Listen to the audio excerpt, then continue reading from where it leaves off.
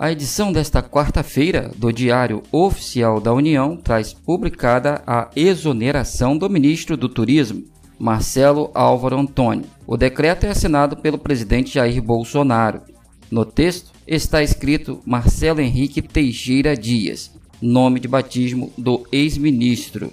Reportagem do jornal Folha de São Paulo aponta Marcelo Antônio como integrante de um esquema irregular para lançar candidatos laranjas nas eleições e assim desviar verbas eleitorais do fundo partidário, beneficiando-se do sistema. Reeleito por Minas Gerais, Marcelo Antônio foi o deputado federal mais votado do estado.